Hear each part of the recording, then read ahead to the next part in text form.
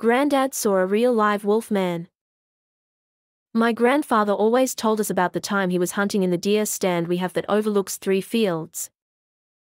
He saw what he explained as a werewolf.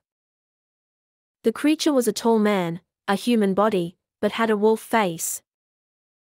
My grandfather gasped when it stepped from the trees. The wolf man heard him and began toward the stand. My grandfather fired off one shot from his hunting rifle. That didn't hit anything but a stump, and the werewolf ran away.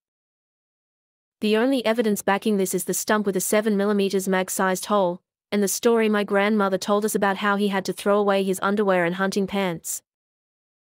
Werewolves, wolfmen call them what you like, but they are real and people see them.